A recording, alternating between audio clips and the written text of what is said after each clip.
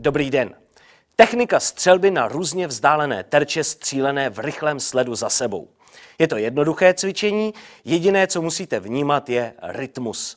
I když budete střílet pomalu, anebo budete trénovat ve velké rychlosti, vždycky se snažte první terč střílet v rychlejším rytmu než ten zadní terč.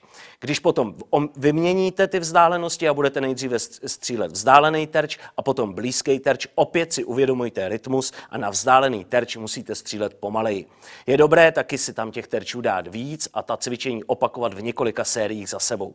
Teďka si ukážeme pomalej trénink.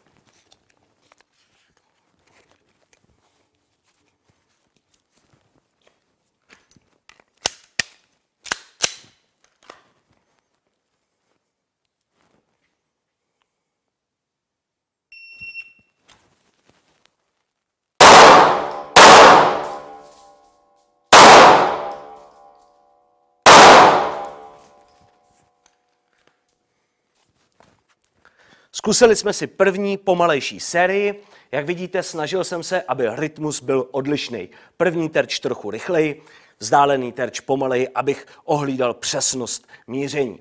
Teď se to pokusíme udělat rychle.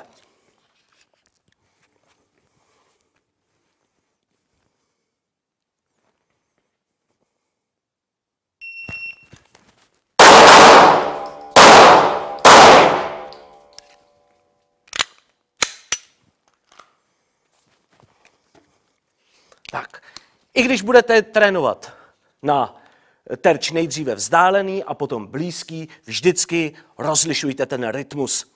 Na blízký terč prakticky vůbec nemíříte, jedná se o takzvanou pudovou střelbu nebo střelbu s minimální kontrolou mířidel a na ten vzdálený terč už musíte vidět mířidla pěkně ostře.